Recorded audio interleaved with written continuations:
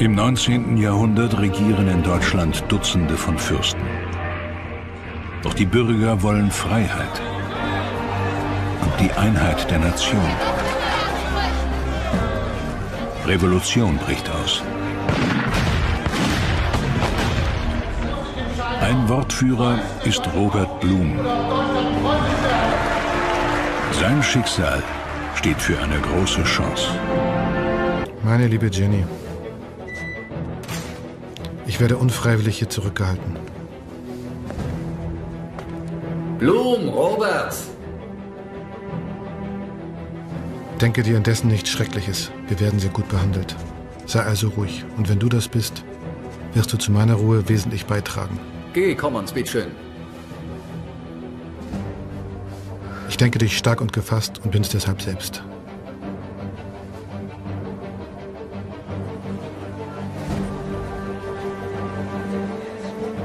Leb recht wohl, bleibe gesund und heiter, grüße alle Freunde und unsere Gefährten.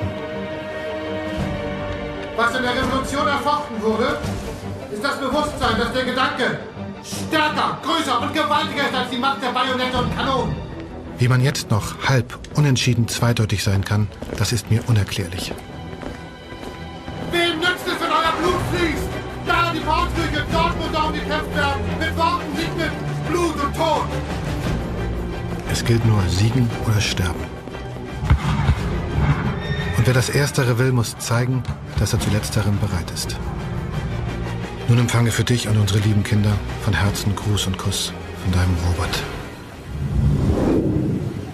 Ein Gefängnisaufenthalt stand auch am Beginn seines politischen Werdegangs. 1844 war Robert Blum in Leipzig schon einmal wegen eines kritischen Zeitungstextes inhaftiert worden. Robert, endlich. Jenny. Die Kinder werden sich so freuen. Ich habe euch auch vermisst. Wie meine königlich sächsische Freiheit. Der vierfache Familienvater versteht sich als Freiheitsfreund, als Liberaler. In Wort und Tat wendet sich der Leipziger gegen die bestehenden Verhältnisse in seinem Vaterland, das immer noch in 38 einzelne Staaten und Städte zerstückelt ist.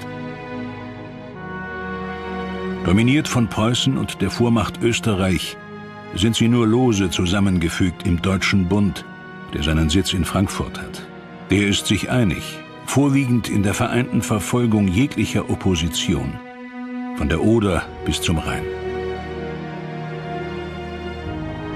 Wie heißt das Land, so dichtet Robert Blum, wo zwar noch Land und Ströme gleich, wie Zeiten nimmermehr, wo zwar der Geist die Schwingen regt, doch ach, durch Fesseln, die er trägt, gedrückt am Boden klebt. Der alte Goethe sagte, ein kleines Kind kann nicht einmal über die Straße laufen, ohne von einem Polizeidiener aufgegriffen zu werden. Das heißt, dieses Gefühl der Überwachung, der Kontrolle und das vor dem Hintergrund, dass man nach Belgien schaute oder nach Frankreich, wo ein anderes, freieres Leben möglich war, das war eine Provokation.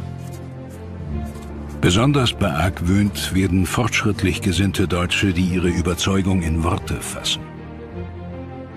Robert Blum hat seine Stelle als Sekretär am Leipziger Theater gegen die unsichere Existenz eines politischen Publizisten eingetauscht. Eine Fülle von Artikeln, Buchtexten, Dramen und Reden sind die Frucht. Darin macht er auch öffentlich Druck gegen die erstarrte Herrschaftsordnung in den deutschen Ländern. Als Autor und Herausgeber einer regimekritischen Zeitung führt er einen ungleichen Kampf. Denn alle aktuellen Druckerzeugnisse werden vorab von einem staatlichen Zensor geprüft, der streichen und verbieten kann. Der Überwachungsstaat war natürlich auch in Leipzig sehr präsent. Und Blum wusste ganz genau, dass er da regelmäßig Schwierigkeiten mit den Überwachungsbehörden bekommen wird. Und hat das sozusagen geradezu als ähm, Marketinginstrument verwendet. Die Tatsache, dass er verfolgt wird. Einmal hat er sogar den Überwachungsbehörden gedankt dafür, dass sie ein Jahrbuch von ihm verboten haben, weil dadurch die Aufmerksamkeit darauf gelenkt wird. Also er war sehr offensiv, fast aggressiv im Umgang mit den Überwachungsbehörden. Wo stecken Sie dich als nächstes hin für ein freies Wort? Ich will keinen Witwenschleier. Hörst du? Jenny, es ist kein Spiel, aus dem man sich einfach zurückzieht, wenn es gefährlich wird. Hätte es je eine Reformation oder sonst was Großes gegeben, wenn jeder denken würde, ich ändere ja doch nichts. Du erinnerst dich jedenfalls nicht. Du bist immer noch der alte Brausekopf. Die Welt der Worte und des Wissens hat Robert Blum schon von klein auf angezogen. Bildungshungrig hat sich der gebürtige Kölner aus der Armut seiner Kindheit hochgearbeitet, bis in das liberale Bürgertum der Bücherstadt Leipzig. Robert Blum war unter den Liberalen derjenige, der am stärksten den Kontakt zur Bevölkerung gesucht hat. Er hat diese Verarmungskrise der 40er Jahre sehr persönlich registriert. Er hat sich aus erster Hand informieren lassen über die Zustände im Erzgebirge, wo die Menschen also nur noch von irgendeinem undefinierbaren Brei gelebt haben. Also ganz grausige Verhältnisse. Für die Schufterei bei Tag und Nacht gibt es selten mehr als eine Handvoll Kartoffeln. Hunger, Aufstände und Tod sind die Folge. Nur die Hälfte der Kinder erreicht das fünfte Lebensjahr. Heinrich Heine dichtet, Das Schiffchen fliegt, der Webstuhl kracht. Wir weben emsig Tag und Nacht. Altdeutschland, wir weben dein Leichentuch. Wir weben hinein den dreifachen Fluch. Beschleunigt wird die Misere durch die rasante Industrialisierung. Maschinell gefertigte Waren aus dem Ausland, vor allem England, zerstören die Preise und damit das traditionelle Handwerk. Neue Technik wälzt althergebrachte Lebensformen um. Mit Dampfkraft. Die Lage wird immer explosiver. Ein Ventil ist die Flucht. 740.000 Auswanderer allein in der ersten Jahrhunderthälfte ziehen meist per Dampfschiff zu den Überseehäfen. Zwei Drittel der 37 Millionen Deutschen leben damals auf dem Land. Knapper Boden, schlechte Ernten und der Drang nach Freiheit treiben ganze Dörfer nach Amerika. Für Blum ist das kein Ausweg. Nein, liebe Jenny, nach Amerika gehen wir nicht. Wenigstens nicht, solange noch ein Fünkchen Hoffnung vorhanden ist, für die Freiheit und einen besseren Zustand des Vaterlandes wirken zu können. Über die Wege zu diesem Ziel sind die Meinungen indes geteilt. Das gemeinsame Ziel, die politische Reform, Parlamente, äh, Pressefreiheit, Versammlungsfreiheit, das war übergreifend. Aber dann gab es diejenigen, die meinten, das ist noch möglich mit den Fürsten. Das waren die gemäßigten Liberalen. Und dann gab es die anderen, die entschiedenen Demokraten, die sagten, wir müssen eine stärkere Opposition machen. Und es gab, das war aber eine, eine kleine Gruppe, die entschiedenen Republikaner, die sagten, mit diesen Fürsten geht gar nichts, sie müssen weggeräumt werden. Von den Höfen und den Feinden der Freiheit erfuhren wir schnöden Undank und grobe Täuschung. Der Gedanke, das Wort wurden gefesselt und die begeisterte Vaterlandsliebe Volksredner finden zunehmend Gehör. Was vor einem Jahrzehnt noch Auch Robert Blum in Leipzig. was ausgesprochen als Hochverrat galt, um dessen Willen Hunderte in den Kerkern schmachteten oder dem Vaterland den Rücken kehren mussten. Es erschallt aus allen Gauen, aus jedem tiefen Herzen, aus jedem Mund.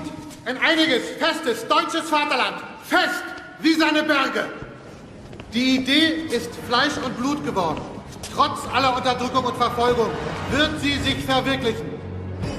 Die Revolution, die Revolution hat in Paris gesiegt. Im rasenden Tempo des Dampfzeitalters verbreitet sich die Kunde vom Sturz des französischen Königs im Februar 1848. Sie erneuert den Mythos der französischen Revolution in ganz Europa. Auch in Deutschland erwacht Hoffnung auf einen europäischen Völkerfrühling. Als erstes verstoßen Bürger in Baden gegen Pressezensur und Versammlungsverbot. Vielfältig, oft gegensätzlich, bricht aus, was lange angestaut war. Bürger fordern Mitsprache. Handwerker begehren gegen die Zunftordnung auf. Bauern verbrennen Grundbücher ihrer Gutsherren, die sie in Abhängigkeit halten. Mitunter mischen sich demagogische, auch antisemitische Tendenzen in die landesweite Märzrevolution.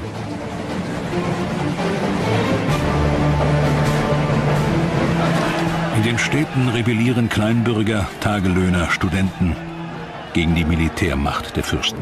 Aus Angst vor oft nur drohender Gewalt berufen die Landesherren Liberale sogenannte Märzminister. Vom Westen aus fegt ein nie dagewesener Sturm durch die deutschen Lande. In einer Residenz nach der anderen weichen Monarchen dem Aufstand. Selbst im mächtigen Vielvölkerstaat Österreich muss Staatskanzler Metternich fliehen. Ein unerwarteter Durchbruch. Jetzt! Jetzt hört mir zu! Jetzt ist die Zeit reif! Auch Drängen der Liberalen ist schließlich auch der sächsische König bereit, sein Kabinett auszutauschen und Freiheitsrechte zu gewähren. Alle Blicke richten sich nun auf Berlin, zu der Zeit eine aufstrebende Metropole.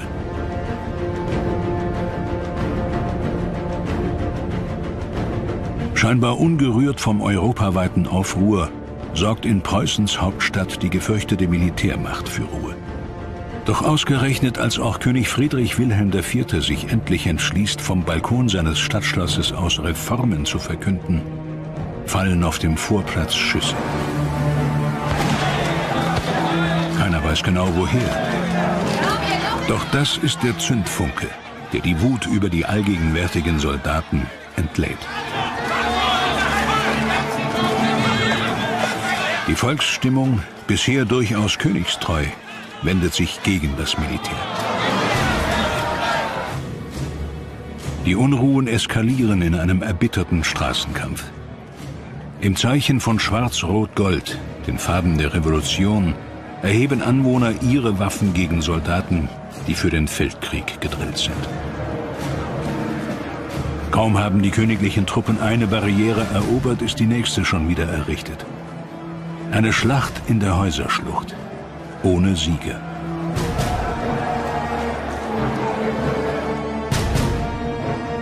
Nachbarn, Frauen und Kinder eilen den Barrikadenkämpfen zu Hilfe, mit allem, was sich zu Munition machen lässt.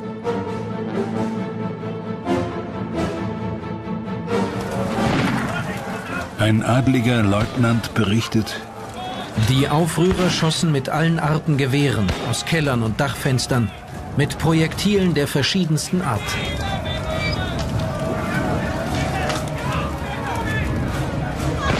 Sowie der Befehl zur Wegnahme der Barrikade erfolgte, waren die Truppen losgelassen und ihre Wut machte sich Luft. Ein pensionierter Diplomat.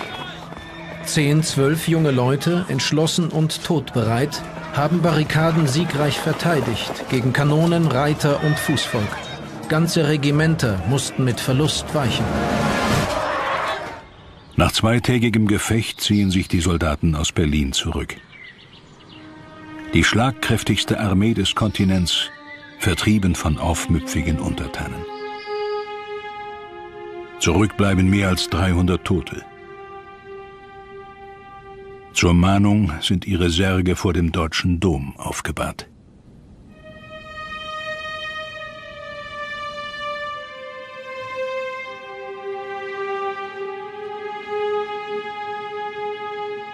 Die Berliner verehren ihre Märzgefallenen wie Märtyrer im Kampf um die Freiheit. Im Angesicht der Todesopfer neigt sogar König Friedrich Wilhelm sein Haupt. Seine Botschaft wird als Unterwerfungsgeste verstanden. Ich habe mich und mein Volk unter das Banner des Reiches gestellt. Preußen geht fortan in Deutschland auf. Das war geheuchelt. Der König war eine ja auch psychologisch merkwürdige Gestalt. Einerseits modern und dann den Eindruck der Öffentlichkeit gegenüber erwecken, ich bin national. Ich mache diese Bewegung mit, ich stelle mich an die Spitze und andererseits keine Verfassung, das heißt die monarchische Gewalt unerbittlich in der Hand halten. Im Herzen teilt der Taktiker die Meinung seiner Offiziere. Gegen Demokraten helfen nur Soldaten. Doch die Demokraten sind jetzt in Aufbruchstimmung. Ein politisches Frühjahrserwachen. Die scheue Biedermeierzeit scheint überwunden. Lebt wohl, Kinder. Herr Vater muss los. Passt auf Mama auf. Hört, was Mama sagt. Wie Robert Blum machen sich Abgesandte der Bürgerbewegung aus allen Teilstaaten auf den Weg. Komm her.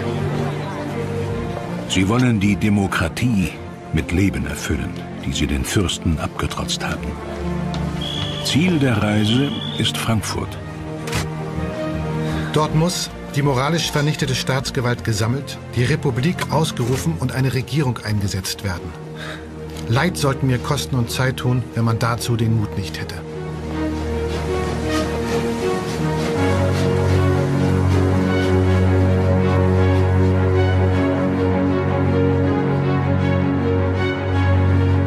Frankfurt am Main. Bis heute Wirtschafts- und Bankenmetropole im Herzen des Landes. Die freie Reichsstadt, wo früher Kaiser gekrönt wurden und nun der Bund der Fürsten tagt. Ende März 48 ist sie Schauplatz für ein einzigartiges Experiment.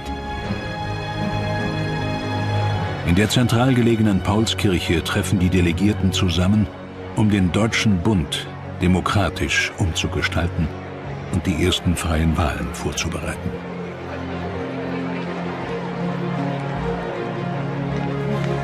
Dieses sogenannte Vorparlament, das Robert Blum zu einem seiner Vizepräsidenten wählt, vereint die führenden Köpfe der liberalen Bewegung.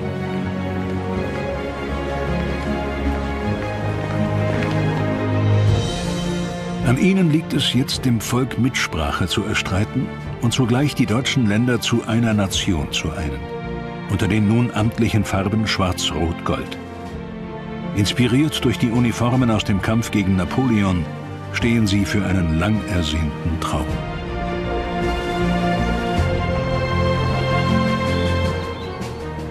Schon 16 Jahre zuvor auf dem Hambacher Schloss hatten, trotz strenger Verbote, annähernd 30.000 Freiheitssinnige erstmals öffentlich Flagge gezeigt und Reformen verlangt. In Hambach ist die Forderung nach Freiheit und Einheit so unüberhörbar und im Zeichen der schwarz-rot-goldenen Fahnen in die Diskussion eingebracht worden, dass dieses Thema überhaupt nicht mehr von der Tagesordnung zu bringen war. Darin liegt die große Bedeutung des Hambacher Festes. Manche Reden, die dort gehalten wurden, vor allem von Demokraten, klangen gemäßigten Liberalen schon viel zu militant. So offenbarten sich seit der Großkundgebung auf dem Hambacher Schloss auch Gegensätze innerhalb der liberalen Bürgerbewegung, die danach in den Untergrund verbannt war. Unter strikter Geheimhaltung trafen sich einmal im Jahr die treibenden Kräfte der Opposition in Hallgarten am Rhein, auf dem Weingut des altgedienten Liberalen Johann Adam von Itzstein. Unter ihnen auch Landtagsabgeordnete, wie der badische Anwalt Friedrich Hecker, links neben Blum, ein radikaler Verfechter der Demokratischen Republik.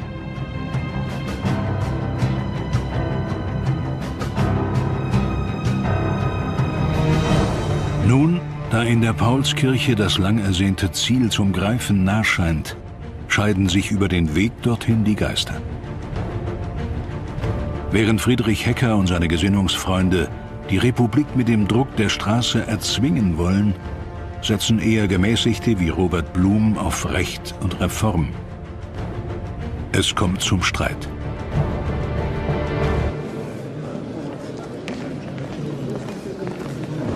Wir sind noch nicht gewählt. Wir sind bloß die Wegbereiter. Wenn Sie sich schon als Anwalt des Volkes sehen, dann geben Sie dem Volk doch mindestens eine Wahl. Wieso? Wir besitzen doch ein Mandat als Treuhänder der Revolution. Jetzt, wo die Fürsten gelähmt sind, müssen wir die Republik schaffen. Sonst wird sie blutig erkämpft. Auf den Barrikaden. Sie können unsere Überzeugung der Mehrheit doch nicht aufzwingen. Sie müssen sie überzeugen, und zwar hier. Hecker bricht mit dem Vorparlament. Er ruft zusammen mit seinem Gefährten Gustav von Struve in Baden auf eigene Faust die Republik aus. Durch den deutschen Südwesten ziehen sie mit einer Schar Unzufriedener in Richtung Frankfurt. Doch der erhoffte Zulauf bleibt aus.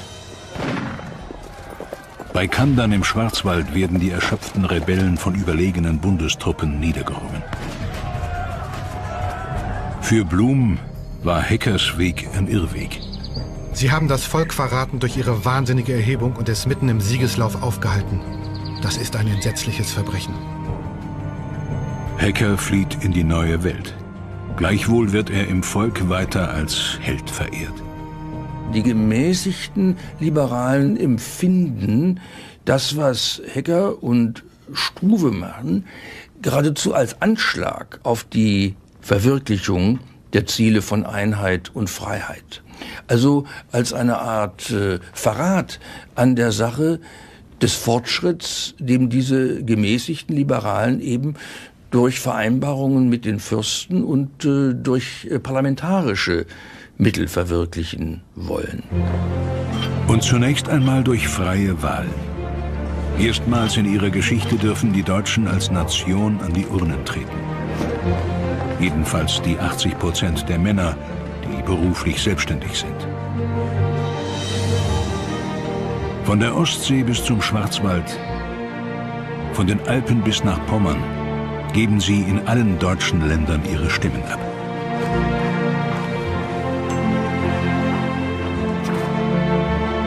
In Städten wie in abgelegenen Dörfern wollen sie selbst mitbestimmen, wer die Deutschen künftig im Parlament vertritt. Auch wenn viele damals weder lesen noch schreiben können.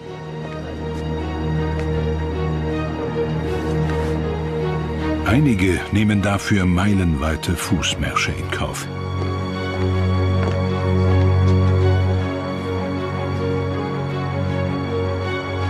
Je nach Region schwankt die Wahlbeteiligung zwischen 20 und immerhin 70 Prozent.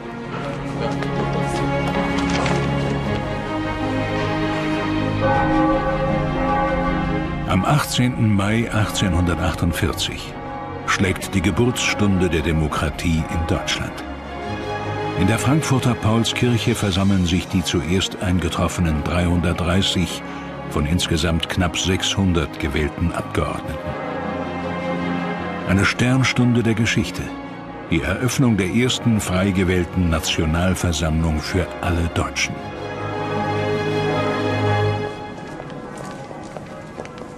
In ihrer Mitte auch Robert Blum, Tag. wortgewaltiger Volksvertreter aus Leipzig. Guten Tag. Ah, wie schön, dass du da bist. Gerade für ihn eine Stunde besonderer Genugtuung. Der Einzug Blums in die Paulskirche war für ihn natürlich eine grandiose Sache, auch persönlich grandiose Sache. Das war ja immer noch nicht richtig zu fassen im Grunde. Er war ein Jahr vorher noch als, als Sekretär am Theater beschäftigt gewesen. Und nun steht er also sozusagen da in der ersten Reihe der Nation. Ähm, das war für ihn schon in vieler Hinsicht die Krönung seiner Biografie. Die Wähler haben in der Regel angesehene Bürger in die Paulskirche entsandt, darunter auffallend viele Akademiker und Staatsdiener. Sie sollen hier eine Verfassung schaffen, die allen Deutschen Grundrechte und Mitbestimmung garantiert. Unter den Verfassungsvätern sind so renommierte Geister wie der Dichter Ludwig Uhland, Turnvater Jan oder der Märchensammler Jakob Grimm. Es ist ein nie dagewesenes, gleichwohl riskantes Vorhaben, das die Volksvertreter im Kuppelbau anpacken wollen. Alles liegt nunmehr in ihrer Hand. Das ist exakt die Abgeordnetenschärpe, mit der Robert Blum 1848 hier die Paulskirche betrat. Damit erfüllte sich für ihn ein Traum, als demokratisch gewählter Abgeordneter die Einheit und Freiheit des Landes mit Grundrechten zu realisieren. Bald muss Blum erkennen, dass er mit seiner Vision von der Republik wenig Aussichten hat gegen die konservative Mehrheit, die die Verständigung mit den monarchischen Mächten sucht. Unser Kampf ist eine Sache der Überzeugung, aber völlig fruchtlos. Alles, was vorkommt, ist im Voraus entschieden. Und so unverschämt ist die Mehrheit, dass sie verwirft, was wir geben oder ablehnt, nur weil wir es beantragen. So überträgt die Mehrheit ausgerechnet dem habsburgischen Erzherzog Johann die Regierungsgewalt der Märzrevolution. Kein gelungener Einstand aus Sicht der überstimmten Minderheit. In der Paulskirche gruppieren sich erstmals verschiedene Fraktionen. Bei ihrer Sitzverteilung vom Podium aus gesehen werden sie als rechts, links oder Mitte benannt. Die hier vorgeprägte Parteienlandschaft spiegelt sich noch heute im Deutschen Bundestag. Wir heute leben, wie selbstverständlich, in einer Bundesrepublik, wie Blum sie gewollt hat. Aber hinter Blum stand nur die Minderheit. Die Parlamentsmehrheit wollte die Fürsten in die Verfassung einbeziehen. Und da hing alles vom preußischen König ab. Der hat Hoffnungen erweckt, als könne er sich an die Spitze der Bewegung stellen. Aber die Schlüsselfrage war, konnte man ihm trauen? Sind die alten Mächte bereit, die neue Demokratie mitzutragen? Das ist die Kernfrage, auch für Robert Blum. Es muss sich entscheiden, wo denn der Mittelpunkt in Deutschland ist. Ob da, wo er von der Volkssouveränität und der von ihr gewählten Nationalversammlung geschaffen wurde, oder da, wo man ihn sich anmaßt. Es muss sich entscheiden, ob Preußen in Deutschland aufgeht oder ob Deutschland preußisch werde. Die Nagelprobe naht im hohen Norden. Als das Königreich Dänemark das Herzogtum Schleswig besetzt, unterstützen preußische Truppen anfangs den patriotischen Sturm dagegen. Doch europäische Mächte wie England und Russland, die dem neuen deutschen Zentralstaat ohnehin misstrauen, drohen mit Krieg um die Küste.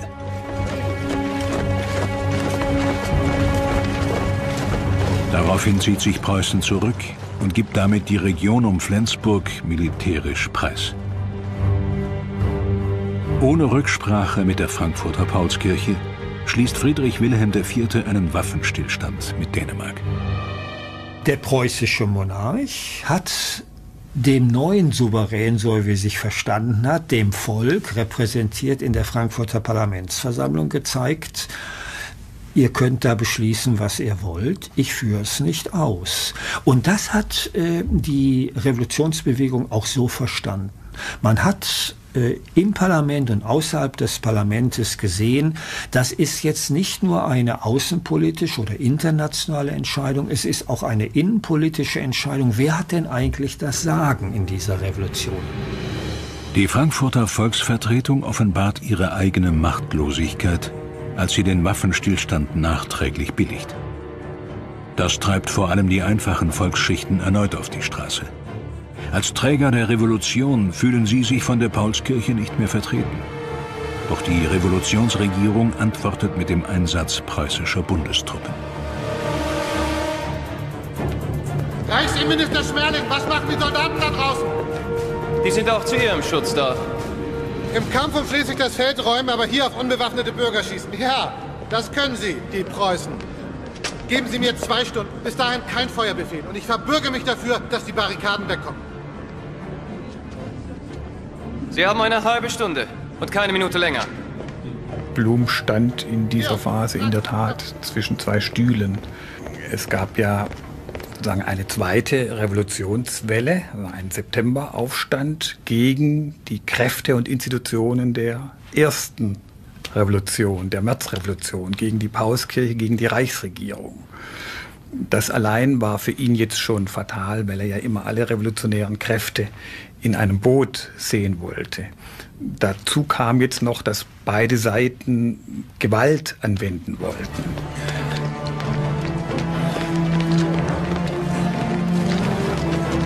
Feine Vertreter des Volkes seid ihr! Ich bin doch auf eurer Seite, Mensch! Dann kommt rüber zu uns! Wem nützt es, wenn euer Blut fließt? Da, die Paulskirche! Dort muss darum gekämpft werden! Mit Worten, nicht mit Blut und Tod! Wir scheißen auf eure Worte! Davon kriegen wir nichts zu fressen! Ihr grabt durch euer eigenes Grab! Vorsicht! Na, dann seid doch froh, dann braucht ihr euch eure Finger nicht schmutzig zu machen! Ihr macht einen Fehler! Ihr macht einen großen Fehler!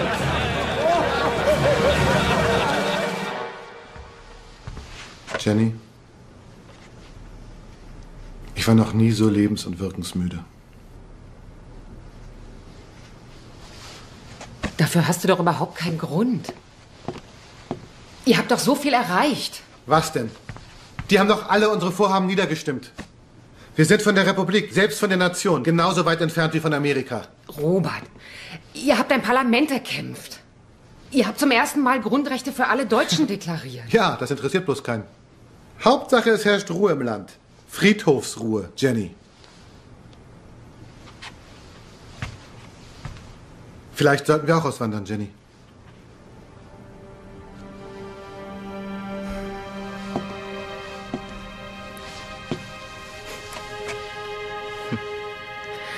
Was willst du denn in Amerika? Naja. Vielleicht ist sie auch ausgewandert. Die Freiheit. Blum musste ja den Eindruck haben, dass die gesamte Paulskirche ihre zentrale Position, die ihr zukommt bei der Gestaltung des neuen Deutschland, verloren hat. Denn sie hat zusammen mit der Reichsregierung ja zurückgegriffen auf das Militär der Einzelstaaten, hat sich damit indirekt in die Hände der alten Gewalt begeben. In der Nationalversammlung verfolgt aus Bosheit, vom Volke in die traurigste Stellung gebracht, aus Dummheit stehen wir isolierter als jemals. Wäre es nicht eine Schande, sich im Unglück von den Kampfgenossen zu trennen, ich würde zusammenraffen, was ich habe und nie wieder in die Welt zurückkehren. Nicht, weil ich mutlos bin, sondern wirklich müde, völlig abgerungen in dieser Sisyphus-Arbeit. Ach, das Schicksal unseres Volkes ist doch ein sehr trauriges. Als ob es zum Tode verurteilt sei und ich die Kraft zu einer Auferstehung habe. Abschied und neuer Aufbruch. In Österreich ist die Revolution wieder aufgeflammt, nachdem Teile der Armee übergelaufen sind. Das Habsburger Herrscherhaus ist vor den Kämpfen aus Wien geflohen. Als Abgesandter seiner Fraktion eilt Blum hoffnungsfroh zum Ort der Kaiserdämmerung. Liebe Jenny, Wien ist prächtig, herrlich, die liebenswürdigste Stadt, die ich je gesehen, dabei revolutionär in Fleisch und Blut. In Wien entscheidet sich das Schicksal Deutschlands, vielleicht Europas. Wien war für ihn jetzt eine ganz große Chance. Er glaubte eigentlich, durch eine erfolgreiche Revolution in Wien könnte man das Kräftegleichgewicht, das sich zu Ungunsten der Revolution verschoben hatte durch diese Septemberereignisse, wieder zurückschrauben. Siegt die Revolution hier, dann beginnt sie von neuem ihren Kreislauf. Erliegt sie, dann ist wenigstens eine Zeit lang Kirchhofsruhe in Deutschland. Wenn Wien nicht siegt, so bleibt nur ein Schutt- und Leichenhaufen übrig, unter welchem ich mich mit freudigem Stolz begraben lassen würde. In der Stunde der Entscheidung ringt sich Blum zu einem Schritt durch, den er zuvor stets abgelehnt hatte. Mit der Waffe in der Hand stellt er sich dem Kampf gegen die Habsburger Truppen, die die aufständische Metropole zurückerobern wollen. Wir müssen die Flagge decken. Ich gehe darüber.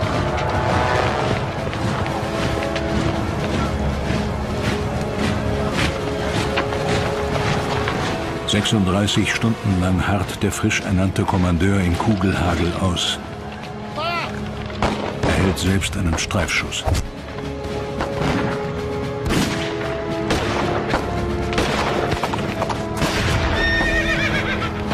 Dann muss er den aussichtslosen Kampf aufgeben. Nach ihrem Sieg unterwerfen die kaiserlichen Soldaten plündernd und mordend die letzte Bastion der Revolution.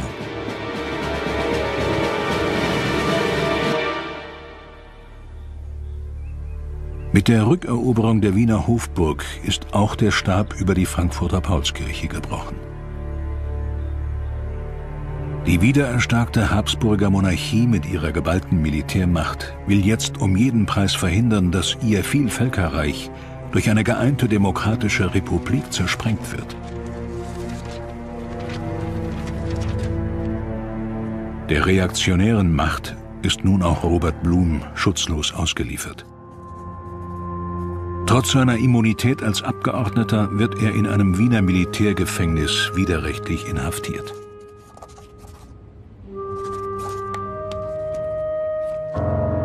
Die neue Habsburger Regierung im mährischen Exil unter Ministerpräsident Felix Fürst zu Schwarzenberg hat sein Schicksal in der Hand.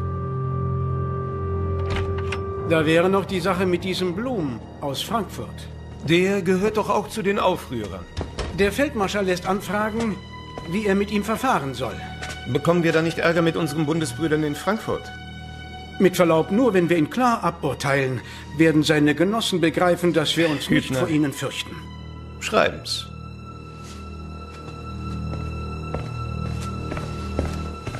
Feldmarschall Windisch Grätz ist Militärkommandant in Wien. Novacek. Bestellen's doch bitteschön Major Cordier herein. Er muss eine Standrechtskommission einberufen. Das Urteil ist bereits vorherbestimmt, auch wenn es mit geltendem Recht und bestehenden Vereinbarungen bricht. Allzu offensichtlich soll der Schuldspruch gegen Robert Blum Lektion für alle deutschen Demokraten sein. Jetzt wird mir zu! Jetzt sind sie vertreibt! Auch bei uns!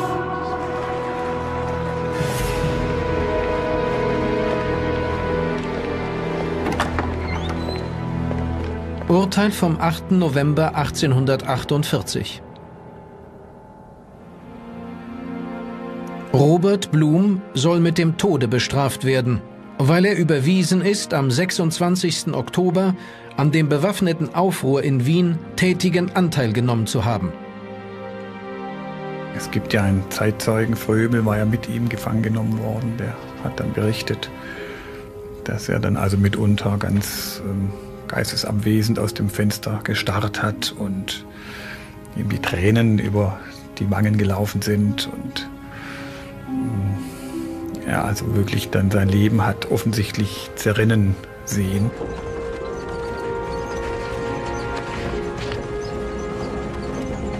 Mein teures, gutes, liebes Weib, leb wohl. Wohl für die Zeit, die man ewig nennt, die es aber nicht sein wird. Erziehe unsere, jetzt deine Kinder zu edlen Menschen, dann werden sie ihrem Vater nimmer Schande machen.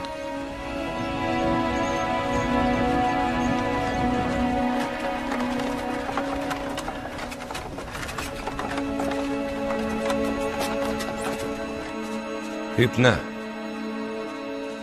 Es gibt eine neue Lage. Ich fürchte, wir müssen unsere Empfehlung dieser arretierten Abgeordneten betreffend nun doch umgehend wieder zurückziehen. Sie meinen die Aufrührer und diesen Blum?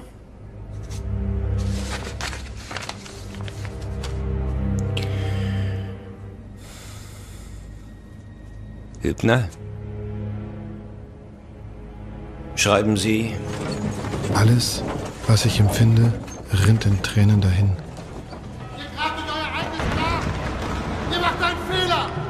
Ihr macht einen großen Fehler! Daher nochmals, leb wohl, teures Weib.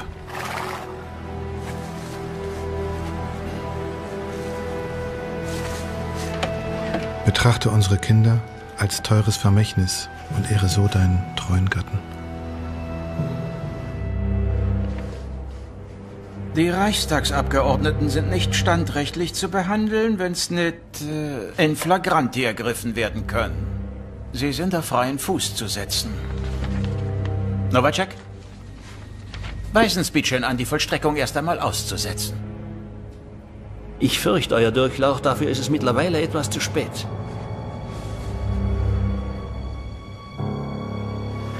Die Revision des Todesurteils erreicht den Richtplatz nicht mehr zur rechten Zeit. Am 9. November 1848, einen Tag vor seinem 41. Geburtstag, wird Robert Blum auf dem Militärübungsplatz Brigittenau bei Wien erschossen. Ich sterbe für die Freiheit, sind als seine letzten Worte überliefert. Möge das Vaterland meiner eingedenk sein.